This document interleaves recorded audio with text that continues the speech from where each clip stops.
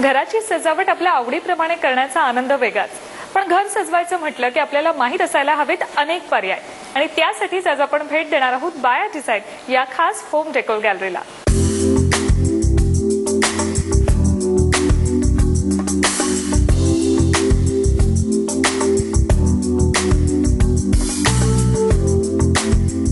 घराच्या सजावटीत महत्वाची असते ती दिव्यांची सजावट. घरात शोभिवंत दिवे लावल्याशिवाय घराची सजावट पूर्ण होऊ शकत नाही.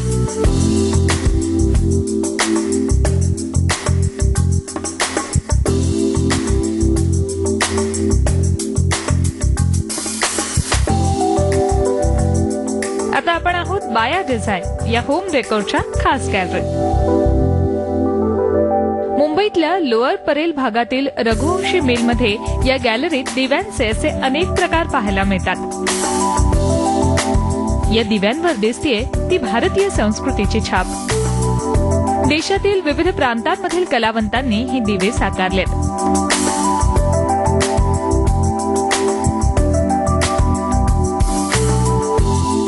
वारली चित्रकला म्हणजे महाराष्ट्रातली पारंपरिक कला.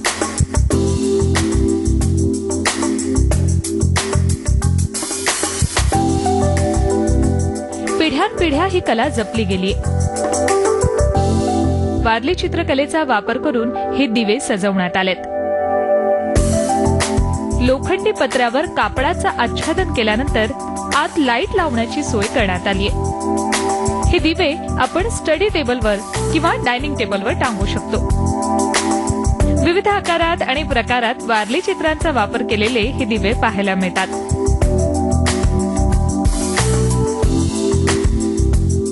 मानवी आकृती विविध आकार आदिवासींचं जीवन यांचा वापर या वारली चित्रांमध्ये करण्यात आलाय.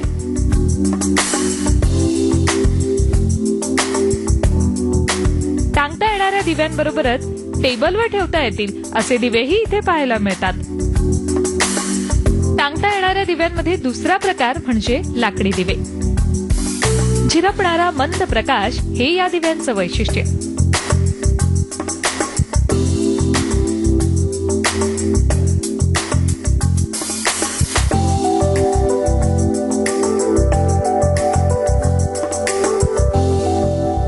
दिवे टांगताही येतील किंवा गरजेप्रमाणे कोपऱ्यातही ठेवता येतील.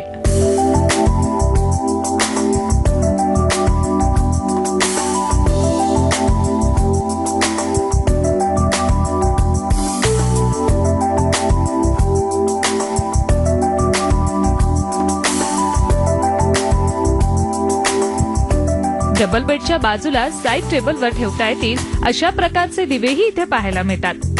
त्रिकोणी चौकोनी अशा आकारांचे हे दिवे आकर्षक रंगात उपलब्ध आहेत.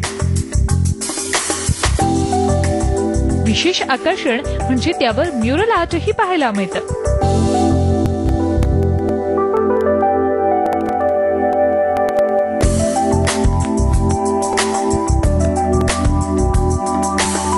कागदी किंवा कापडी अशा दोन्ही प्रकारात हे दिवे उपलब्ध आहेत.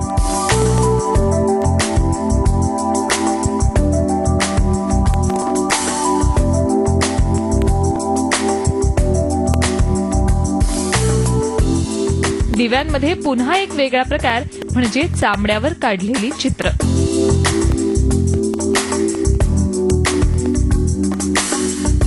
आंध्र प्रदेशात अशा प्रकारचे दिवे तयार होतात. विविध प्रकारचे टेबल लॅम्पचे शेड इथे पाहायला मिळतात.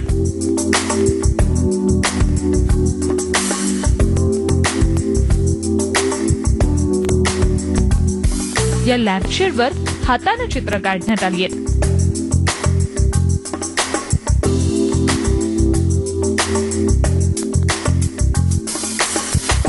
आंध्र प्रदेशातील कलावंतांनी हे लॅम्पशेड साकारले. फक्त लॅम्पशेडच नव्हे तर संपूर्ण टेबल लॅम्पही या शैलीत साकारता येतो.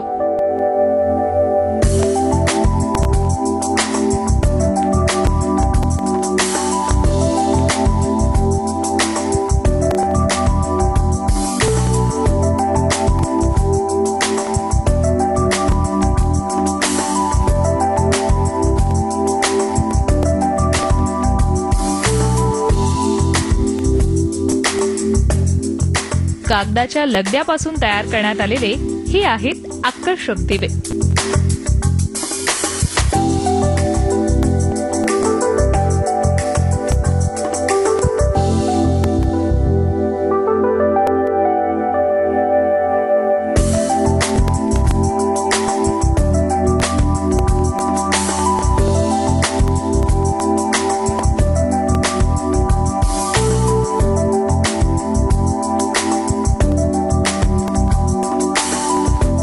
कागदाच्या लगद्याला आकर्षक आकार दिल्यानंतर त्यावर मेहंदीचा वापर करत सुरेख कारागिरी करण्यात आली आहे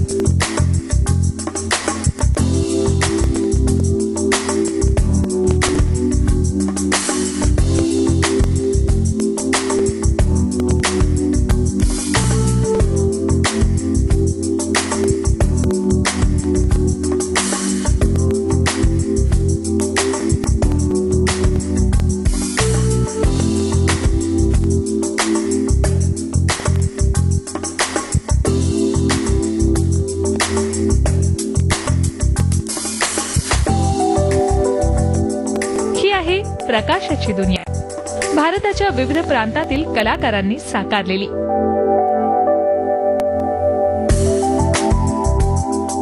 या दिव्यांचा कलात्मकपणे वापर केला तर आपण आपल्या घराची सजावट अधिकच खुलवू शकतो.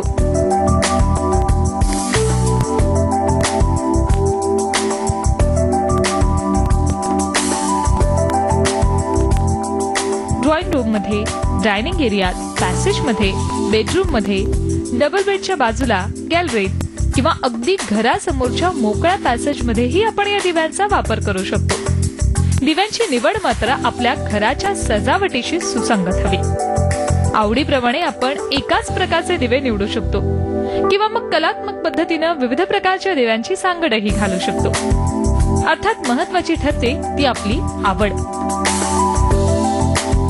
दिव्यांचा वापर कशासाठी करायचा आहे? यावरही कुठले दिवे निवडायचे याचा निर्णय अवलंबून असतो.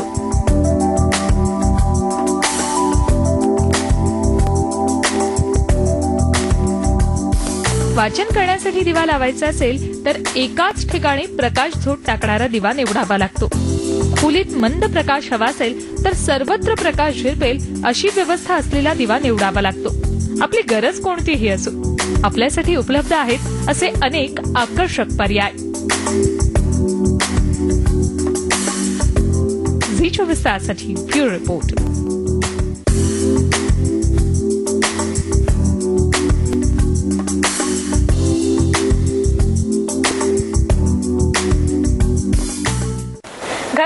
घरमध्ये आता वेळ झाली एका छोट्याशा ब्रेकची पण ब्रेक नंतर फेंगशुई बद्दल जाणून घेणार आहोत. फेंगशुई तज्ज्ञ विजय पवार यांच्याकडून.